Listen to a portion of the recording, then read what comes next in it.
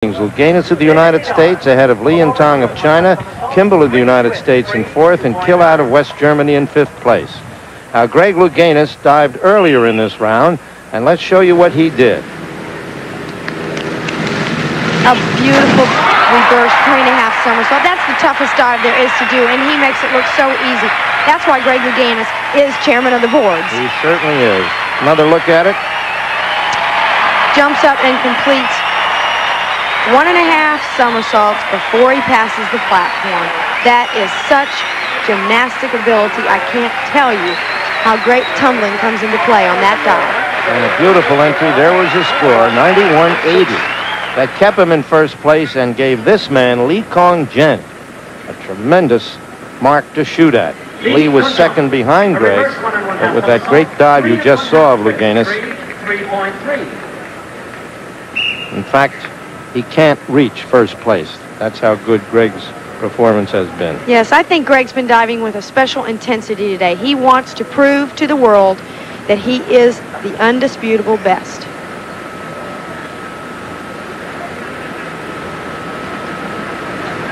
Reverse one and a half, three and a half twist. Big splash on the end of that one. He hasn't dived as well as I've seen him dive in the past. He usually goes in the water perfectly straight without a splash, especially on these optional dives. But you see him take off there, his knees bend and his legs come apart. Over rotates a little bit on the end, and you see the splash come up. That's very unlike Li Kongzheng. There is Mark, 66-33 in second place. Masashi Nakashima, a forward one and one. Now Masashi Nakashima of Japan. 2.9. The forward one and a half somersault with three twist. Swiss timing. We're live right now at the Coliseum to bring you Dwight Stones, his first attempt at 7 feet 6 inches. Here he is, Dwight Stones, having already cleared 7 4 and a quarter. He passed at 7 5 and a quarter. And right now concentrating on becoming the first man to clear 7 feet 6 inches or 2.29 meters. Yeah, Dwight comes up early in the order. He's one of the first jumpers to jump. In fact, I think with the others possibly out, he might be the first one up at the new heights. For him, that's a good. That's good. In the Olympic trials, he liked that a lot. He likes to go out, make the height, establish it, and give the challenge to the others to then come up to him. It's a He's good just, position for He's Dwight. just made that height in his mind. As you watch the expressions of Stones, and he's up and over the bar at seven feet six. The bar then comes off at Oh. six, and they're going to rule it to Oh, Dwight's amazement as a failure on the first attempt. That's a very difficult call for the officials because there isn't really a clear-cut amount of time that is required. It used to be the old thing of when the jumper was out of the pit, that was clear. But it is a bit of a judgment call here by the officials. You did notice, though, we will notice that Dwight did graze the bar. Yeah, perhaps his height was a little bit off. He is a little sideways, although that is somewhat his style. Barely grazed it if he Barely. did, You see a very small amount of movement on the bar. little shimmy as he Possibly, gets up. possibly a gust of wind brought it down, but it's the mm-hmm. official's decision. Yes, yes, the crowd has just watched the replay and they don't like the call either. And it is very breezy on the Coliseum surface. So mm-hmm. Stones missing his first attempt. You get three attempts at each height. And right now, let's go back to diving and Jack Whitaker. Jack?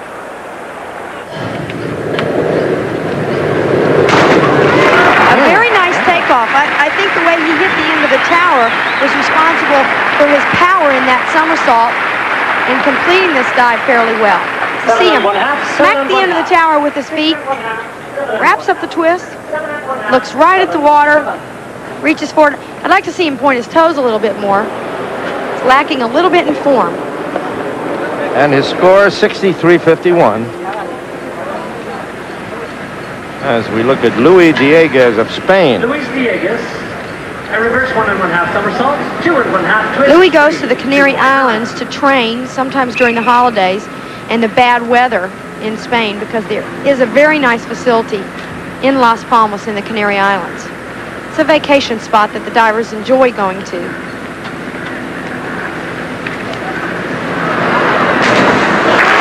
But that's a different dive. He comes off one foot and kicks it towards the sky and then wraps up the twist in the somersault. We haven't seen one like that. Let's watch this takeoff. You see him swing his arms around and he kicks his foot right there towards the sky. Now his feet never get back together. That's something you have to deal with if you come off one foot like that.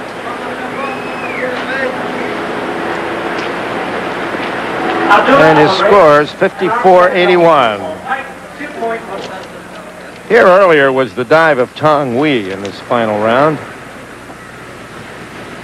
Tong in third place when this last round began.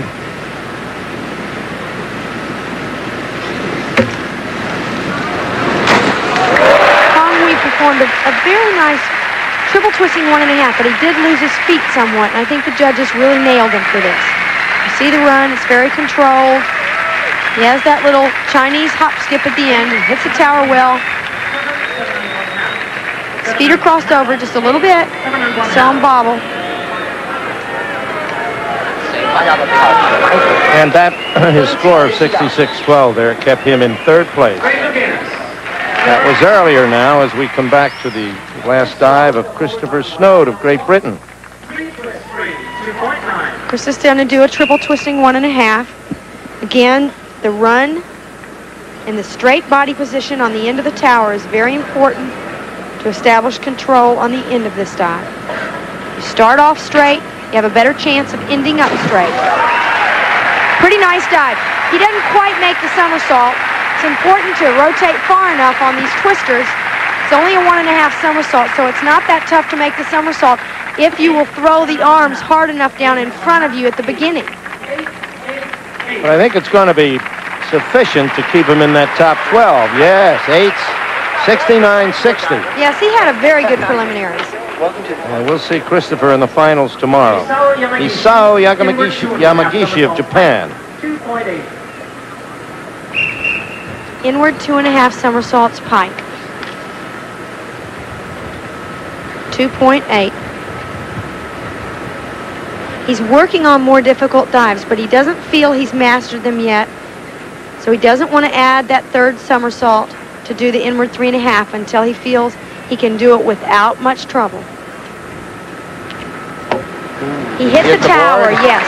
At the tower, His feet hit the tower. The judges will deduct for that. There's not a standard deduction.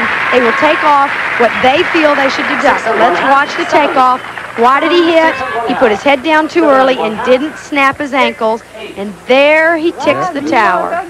And he ducks his head after that. that smarts a little bit. The bottom of his feet.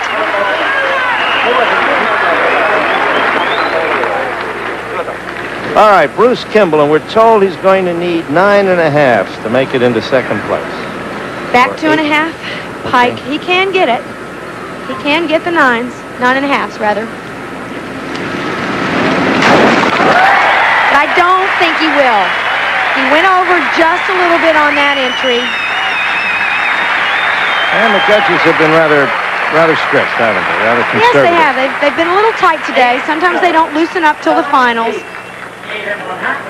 You see, he's just got a little break in the knees there. It, it really is a beautiful dive, but not good enough to get him nines and nine and a halves.